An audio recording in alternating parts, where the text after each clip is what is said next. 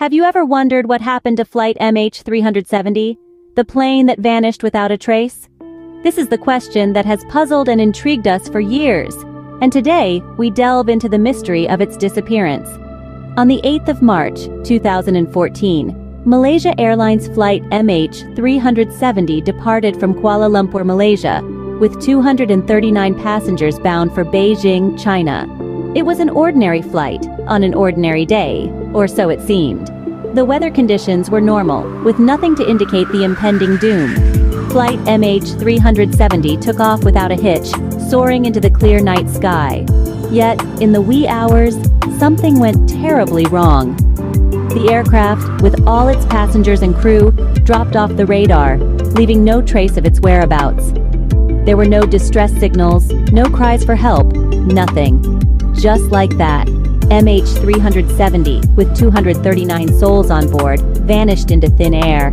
MH370 took off smoothly, but its course drastically changed without explanation. The flight was supposed to be routine, a straight shot from Kuala Lumpur, Malaysia to Beijing, China. A journey of about six hours, over the South China Sea, then across the Gulf of Tonkin and into China.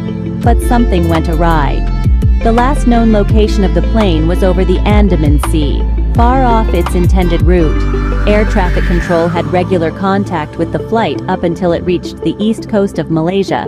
Then, without any distress calls or indication of trouble, MH370 vanished from the radar screens. It was as if the plane had simply ceased to exist. In the world of aviation, such a disappearance is unheard of, especially for a Boeing 777, a model known for its reliability. And just like that, MH370 was gone, leaving no trace. What could have happened to flight MH370, and where could it be? This question has led to a myriad of theories, each more intriguing than the last.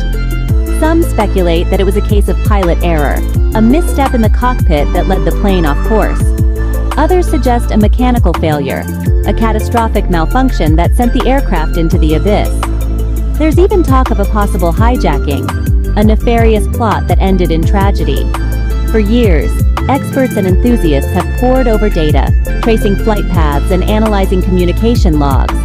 Government agencies and private entities alike have launched extensive search and investigation efforts, scouring vast expanses of ocean floor and combing through thousands of square miles of remote wilderness.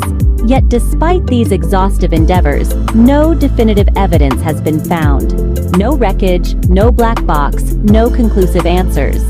The disappearance of Flight MH370 remains one of aviation's greatest unsolved mysteries.